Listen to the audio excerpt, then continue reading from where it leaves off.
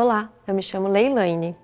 Hoje eu quero compartilhar com você algo que marcou a minha vida. Mas antes, eu quero te fazer uma pergunta. Você já se sentiu culpada na vida? Quem não teve sentimento de culpa por ter feito algo errado ou por ter deixado de fazer algo importante? Provavelmente todos nós. O sentimento de culpa é doloroso e com ele surgem também outros desconfortos emocionais, como raiva, medo, complexo de inferioridade, apatia. A culpa também causa problemas físicos, como insônia, alteração de peso, cansaço inexplicável, alergias, queda de cabelo, enxaqueca e até câncer. A culpa nos impede a felicidade e realização dos sonhos, porque nos rouba a paz. A culpa é cruel, especialmente quando não é admitida.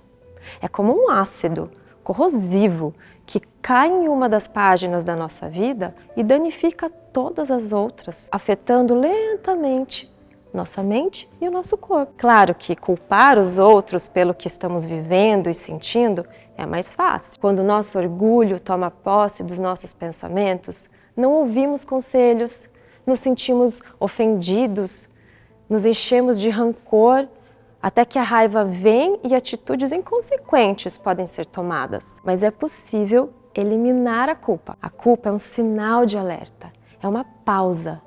E se dermos a devida atenção a ela, vamos conseguir refletir e entender onde erramos e ter humildade para corrigir a rota. A culpa pode ser fatal, quando o orgulho e o egoísmo nos impedem de chegar ao arrependimento, o que nos leva a outras culpas. Mas existe solução para o conflito da culpa e a jornada do perdão é real, porque a culpa confessada é perdoada. Como é feliz aquele que tem suas culpas apagadas. Você está cansada de se sentir culpada?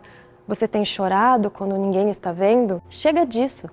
Não há motivo para deixarmos a culpa continuar nos matando. Eu quero te convidar para um evento no dia 27 de maio, às 16 horas.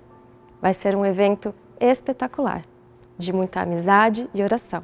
Até lá!